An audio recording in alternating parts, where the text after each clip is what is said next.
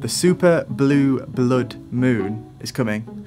What actually is it? I'm going to try and explain. So the first of the three is the supermoon, when the moon looks big and bright in the night sky.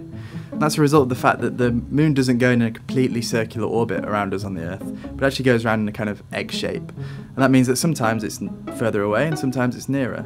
Now when it's nearer it obviously looks much bigger, and it also reflects much more of the sun's light straight back at us. That means that when you see the supermoon, it can look really big and really bright, up to 15% brighter than normal, and it makes for an absolutely spectacular sight. So the second part is the blood moon, and that's really just a fancy and quite strange name for a lunar eclipse.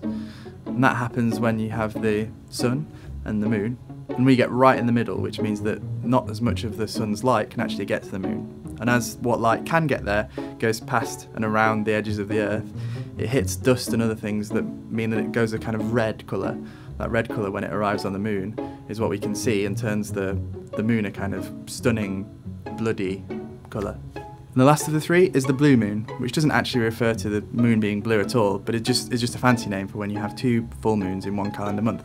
Obviously, every month the moon gradually moves from being new, when you can't see anything of it at all, to being full, when it's a big round circle. And that happens because of the way that the sun and the earth and the moon move around over the month. Now normally you only have one of those each month, which means that it's fairly rare to have two in one calendar month. But that's what we refer to as the blue moon, and that's why people say things are only happening once in a blue moon. So that's the supermoon, when the moon's big and bright.